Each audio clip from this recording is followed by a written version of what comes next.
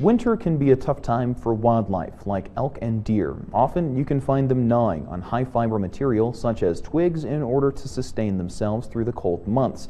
Even though it may be tempting, MTN's Tom Buchanan shows us why feeding the wildlife can actually hurt them more than it can help them. Feeding certain wildlife, such as deer, elk, and moose, is illegal in Montana.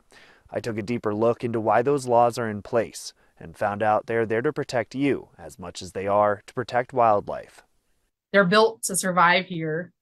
Their gut is set up to to use the natural food sources that are available. So while you know folks are probably well intentioned in trying to provide them other food sources, oftentimes those do more harm than good. Feeding wildlife or unintentionally allowing access to garbage and feed can lead to a multitude of problems.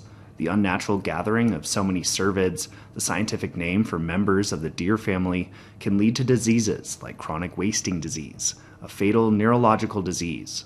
Feeding wildlife can also habituate them to the presence of people, causing possible injury or death for animal and human. Additionally, these deer or elk can attract predators such as bears or mountain lions. But there's even more reason to not feed wildlife.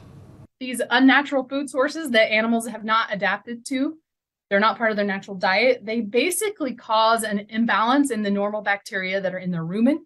And that it sets them up for kind of a cascade of problems that can be fatal or chronic in nature. Feeding big game animals in the winter can cause serious harm to the animal. During the winter, the microbes in the guts of these animals change in order to process high fiber materials such as twigs.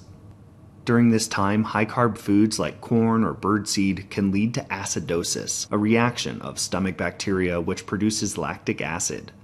This kills healthy bacteria and leads to inflammation and ulcers. When inflamed, the stomach wall can't absorb nutrients.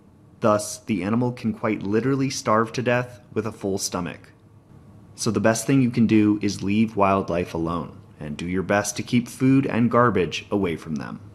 Limiting their access any way you can, um, cleaning up spilled grains and things like that, not throwing out fruits for them to eat intentionally, um, having, you know, just keeping garbage and things like that um, cleaned up.